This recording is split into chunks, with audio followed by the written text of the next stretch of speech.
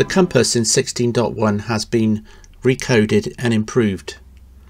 To pop out the compass, click on the pop out button. The compass will pop out onto your screen and you want to place it probably at the top of the elite screen. You want to make sure the window on top button is clicked so that it's always on top of elite. You can size the compass using the drag and change its relative size and width. The compass auto adapts now to the size of the box. You can control the font size of the text. The compass is normally operated in transparent mode. Click on T and select your transparent mode. The normal one to pick is TF which means that to reactivate the compass you'll need to hold down the right shift key by default. We will now select a target for the compass. Using the right shift key reactivate the compass.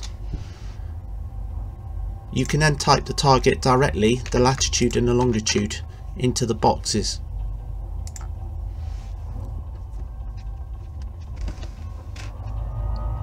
We now fly to the planet.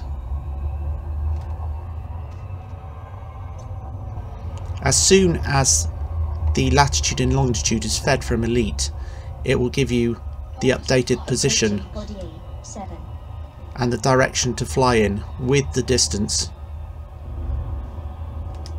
Follow the bug to the target.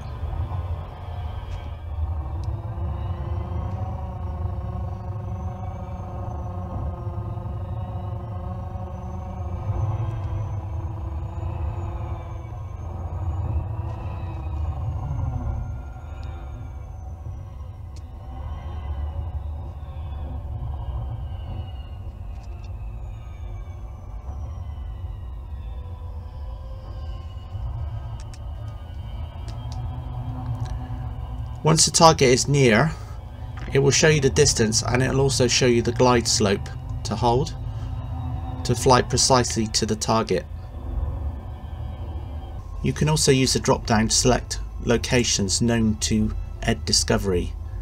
These locations are ones that are identified by the approach settlement event, touchdowns that you've made yourself, when you're not near a body, it will show you all of the known locations throughout the whole system. If you're near the body, it will only show you the locations for that specific body. Locations throughout the system can also be set up by using the bookmark button. This will bring up the bookmark on the system where you can enter planetary body locations give them a name and their latitude and longitude. You can then select that location and use that as a target. Options for the compass include auto hiding whenever your main screen is not showing the cockpit, hiding when there's no lat long feed being given by Elite, hide in the compass when on foot, in the SRV or in the ship, and also automatically clearing the target location when you leave a body. The compass also works when you're on foot and will show you the bearing and distance to your chosen latitude and longitude. The distance will disappear if you go under 100 meters.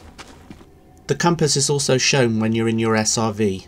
You can control if the SRV compass is shown by using the hide when in SRV option.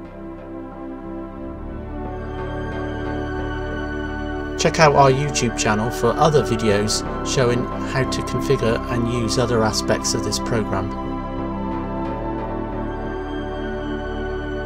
So for now I say bye bye and fly safe commanders.